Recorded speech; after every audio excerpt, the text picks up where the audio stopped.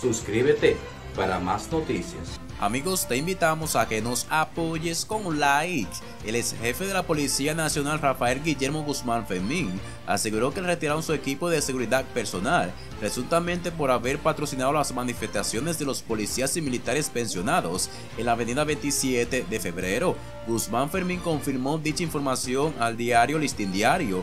Asegura que la medida fue tomada por el gobierno, que le acusa de patrocinar la protesta que terminó en disturbios. Se recuerda que los policías y militares retirados reclamaron en medio de una protesta con pancartas y algunos encadenados que dicha avenida con destino al Palacio de la Policía Nacional el Ministerio de Hacienda en reclamo de un aumento salarial y otras reivindicaciones. Gracias amigos por seguir esta noticia. Recuerda suscribirte y comparte este video.